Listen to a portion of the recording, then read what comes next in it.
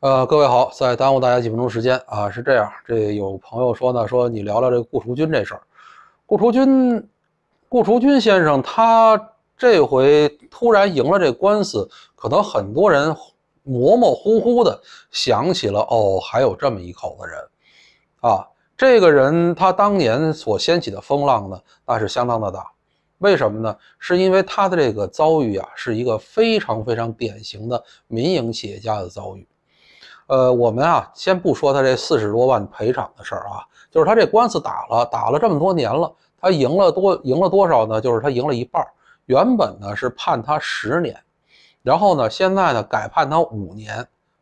他实际上坐了四年牢，四年多四年多的牢，但是判改判他五年，其他的那个时间他有一个折算，然后给他一个呃四十多万的这个所谓的赔偿，然后其中还有十四万多的是那个呃精神精神补偿。这么多年的精神，中国人精神不值钱嘛，对吧？您的精神真的完全不值钱。那这么多年的这个冤冤案呢，他呢也只不过是给你这么多点这么多点钱，嗯，所以呢，我们就知道中国人到底是呃在精神方面是有多不值钱。当然，人命也没那么值钱嘛，对吧？我们这个实际上在司法实践当中呢，呃，你有一个非常重要的点就是农村是多少多少钱，那城里人是多少钱，其中呢是有一个价差的。就是说这个死亡赔偿，呃，这个我们到时候再单说吧。呃，顾雏君老兄这事儿啊，其实挺挺逗的。就是为什么我说呢？他可以跟着柳传志，就是司马南咬柳传志这件事儿，您可以搁在一起看。只不过呢，一个呢是成功了的柳传志，一个呢是失败了的顾雏君。呃，为什么这么说？因为您回忆，呃，就是如果如果您不知道这个人呢，我呢，或者是说您对他不熟呢，我给大家呀。稍微聊两句这个他的生平，他呀是在当年啊第一批下海的人当中的一个，他是玩学这个制冷的，这个东西我还比较熟悉一点。呃，原原来这个我对制冷这个，我我主要还做还还修过一段这个东西，呃，也学过一段这个东西。那制冷这个东西呢，就是说他提出了一个故事循环理论，以此呢为契机，就是，但是那个理论呢，说实话，它是在那个有一定的这种争议的。他以此为契机呢，就开始了自己的创业的过程。他比较早，大概在一九八八年吧，他就开始创立了自己的空调的品牌。我记得是啊，我记得是。然后这个创立空调品牌之后呢，还是呃下海，就开始挣钱了。那个时间段啊，家里啊很难有人有空调。这个您要您要理解啊，因为在那个时间说家里有空调，那都是那都是那都算豪门了啊，就是说生活算不错的了。我们家有空调，那大概都得是一九，呃，也差不多，差不多的，差不多比这个晚个一两两年，也就家里有空调了。但是呢，那个时间段家里有空调的人还是很少的，呃，他就因此是赚钱，赚钱之后呢，就是就有人去举报他，说你这个呀，你这个不合格，不合格以后呢，那就给他查，就是说一查不合格就给封存，然后要给他罚他六百万人民币。结果你想啊，那个时间段六百八十年代末期六百万人民币，我听都没听说过那么大钱，真的。那会儿我才十几岁，我听都听不到那么大钱。然后呢，那他结果那空调呢，他还是给悄悄的给卖了，卖了一部分。这事儿呢，一直就是折腾的很大。然后他到国外就找融资去了，找完融资以后，他就学会了这个 VIE 架构这件事儿。你想啊，他是真原来不懂，因为中国人很少说。那个时代就知道所谓 VIE 架构，就是说那做离岸公司啊，然后做协议控协议控制啊，这一这一这一套操作，所以他是很早很早就开始玩这一套东西的，就是他对资本市场就很敏感，然后拿着钱回来创立了那个格林，反正什么什么一个四个字的公司，格林什么玩什么玩意儿那个公司，然后呢这个公司呢就开始收购，其中收购了一家呀非常有名的，先科隆电器。科隆电器呢？那个时代呢是镇办企业，就是它是那个它是佛山某镇的企业，它办了。那个时候叫什么呢？就是说大家都纷纷啊，市场经济我就要要去干干事儿啊。广东那边您想民风又开放，它多少离着香港近的，它呀它就各个地方都办企业。可是呢，一般人办企业办不了多大，它资金量什么的都不够。干嘛的？就是很多镇上啊、城市啊、乡村呢，他们办这种集体所有制的企业，或者是说呢，有一部分国有国有资本的这个企业。这个企业呢，那您可以想见一下乡乡镇企业嘛？但大伙儿我们都一说都是乡镇企业，有一个词儿是乡镇企业家，就形容那种土包子、土老板嘛，就是那个时代的时候时候的产物。好多人呢是从那个时代起家的，有些人做大了，有些人呢死了，有些人呢进监狱了。为什么呢？就是说呢，为什么这么说呢？因为你这些企业办出来之后啊，它好多时候它做的不咋地。它虽然是最初的启动资本呢，有可能是集体集体所有的，但是呢，这帮人他不会经营企业。这有我说的那个那个那个事儿了。中国呀，在在四九年建政之后，中共在四九年政建政之后，然后通过公私合营啊，然后集体呃这个社会主义改造啊，把整整一代企业家全摁死了。就是说，企在中国的企业家，他其实是一个断代的。那个时候，你再想想那帮当官的，他就他哪怕是心里说真的想把企业做好，他也并不是说他能够做好的东西。所以呢，那个时候就有一些企业家干什么了呢？就是我收购你这些公司。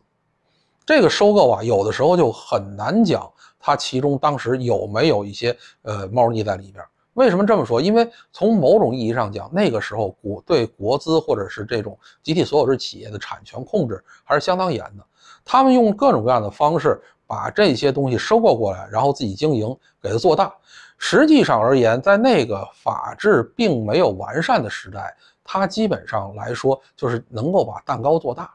把蛋糕做大之后呢，哪怕是国资的，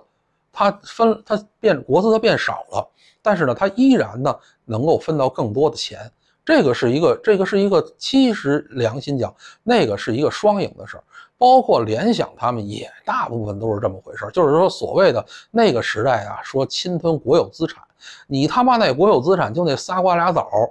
对吧？他侵吞完了，他侵吞拿走一部分给给种成树，然后呢再给你回过你的这个，再给你弄一大弄一大筐枣。大概是这么个路数，很多企业是这么玩的。结果到那个这帮像司马南支流这帮人嘴里，就是侵吞国有资产。你他妈那国有资产搁在那儿就是一堆废铁，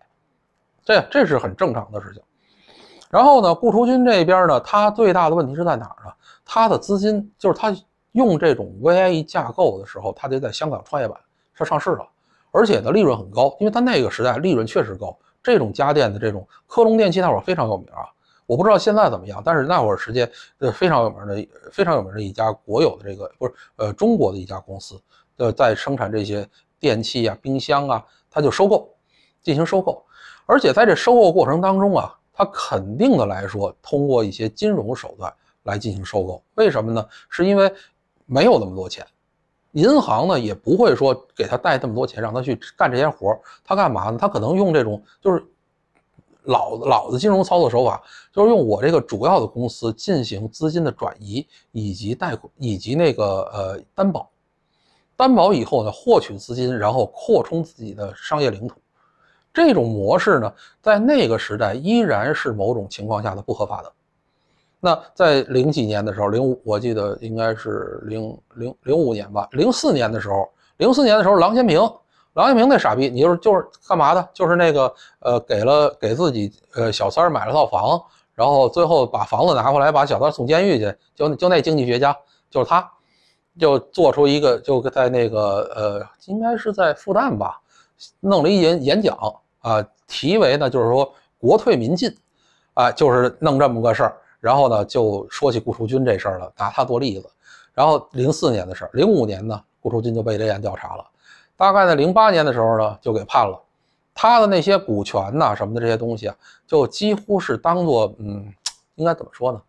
就像是那个接收，就是呃，国民党当年这个接收这个逆产似的，嗯，接收汉奸逆产似的。他一旦说是这抗战不赢了吗？得我接收你吧，接收大员似的，就都给接收了。接收呢，给他把呃，几乎他的股权还有他的这些东西都被贱卖掉了。就是顾雏军就没什么，就是他的那些东西就没有了。然后呢，把这些东西卖了以后，判了他十年，什么呃虚报注册资本罪啊，挪用资金罪啊，不呃什么不披露不不按规定披露信息罪啊，诸如此类这些东西。到一九年的时候呢，就是这个一直这官司就开始打，这个就一直顾雏军大概坐了四年多牢吧，一二年左右就出来了。出来以后呢，还好像我记得那会儿有微博了，还发了一长微博。他老人家就说这个说这个自己冤枉这事儿，就又闹得满城风雨。因为为什么呢？因为中国在这个所谓的这个呃侵吞国有资产这件事情上啊特别敏感，好多左派的这些人，或者是说这个顽固派这些人，他对改革开放的这些原本的原本国有资产非常糟糕的这些东西，他深有感情。他觉得我操，我他妈的就这个东西都是国有的，你们拿走了，低价买了，算怎么回事啊？实际上就是我还是那说的道理，就那他本来就这仨瓜俩枣，对吧？人家拿走了，拿走了一部分，给你种成一片瓜田，一几棵大树，然后返回来的，你怎么也比你手里点东西要要多得多。这应该是一个后续的有，就当然现在也是在做很多东西，就是后续进行了承认。那为什么司马南这傻逼就是特别坏呢？就是他又借着这个事儿打算。把这事儿给翻过来，就是弄弄联想，弄联想这事儿。联想其实原本也大致大致不差的是这个路子，当然它细节上有很多差别啊，这个有很多差别。您要愿意去搜，您可以搜司马南。您好多人就是跟我这儿他妈扯，因为我正面回应司马南的这些这些什么什么疑问，你自己去网上去搜去，那他妈应该你自己不把自己的这个呃这个呃信息给扩宽了，你找我这儿，我他妈我是你爹，我教育你是不是？那大概是这样，就是原本这些东西本来应该后续承认的，但是呢，中国这边呢一直呢就是留了这个口子，他在很多的司法实践上留了这个口子，把这个国有资产就是当做一把达摩克利斯之剑，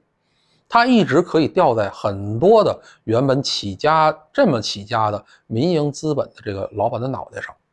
就是如果要弄你，用这种方式，他就完全可以把你整个给他给你吞掉。把你所有的这些年的辛苦都给你吞掉，这个是一直是这么做的。然后呢，这个他一九年就开始又上诉，结果呢，这回改判了，改判改判了就改判成五年了。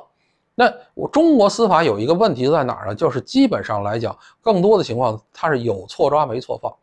因为当时在零零八年的时候，因为那个时代啊，顾雏军呢已经自己建手下有四家这个 A 股的上市公司。就是他自己本身也是一个资本的，就是大鳄了吧，算是。当时就觉得说这个东西别把这东西弄得很，哎，哎呦，哎呦，哎呦，求你了，求你了，这是，这这是我这这给你挣猫粮，给你挣猫粮的啊，不大不大。他就当时啊就没把这个当回事儿，就是他想把这个东西救回来，他怎么救回来呀？就是这个呃，跟上边也在说了，因为他他这种企业家跟上边也有一定的关系。然后呢，广东省的这边也说说，你看这个是一个非常优秀的民营企业，如果通过这件事情把它打倒了，我们的损失是非常大的，不光是那个呃国家的损失，个人的损失，就是整体对社会经济没什么好处。然后呢，是周永康，周永康发呃就是发话不让放，要抓这个典型，就把顾雏军给打下去了。我们现在看出来也是，呃，一二年的时候，顾雏军提前出狱，然后这些年周永康倒了之后，这些年，然后他这个案子有可能就翻回来，可是翻回来翻一半，就是呢，还是说呢，有一部分罪名是成立的，对吧？这个你要你要认，然后给你这个大概是用于羞辱性的，给了他四十多万这个补偿，他提提出的要求是四百亿嘛，因为他的那个股权就是被几乎被那个。啊，几乎被几乎被拿走了，就是几乎是非常低的价格，或者是非常就不付什么代价就就被拿走了，因为他觉得那是原本应该是国有的资产，就给他拿走了，大概就是这样。所以你说顾雏军这件事情呢，其实谁更有道理，或者是怎么样？我觉得吧，就是到今天为止，我一直这么觉得，中国有一就那一代企业家里，就是完全的不不违反当时的法律法规的。基本上在我看来是没有的，是一个都没有。为什么？因为法律法规本身是不是滞后的，这种所谓的这种经济的管制，以及在他那些资产资产性的这种国有资产性的管制当中，那这些人他是没有办法通过任何的合法的手段，然后呢去获取他这些这些这些公司，他只能够用某些应该说不算是。当符合当时法律法规的这个呃这种手法吧，因为他就用这种手法去把这些东西拿到，然后呢发展起来，在其中呢他们呢获取了巨量的商业利益，这个是无可否认的事情。但是呢，还是这一句话，他也给这些中国经济呢注入了一个非常强的活力，啊，非常强的活力。我们都知道，如就是呃，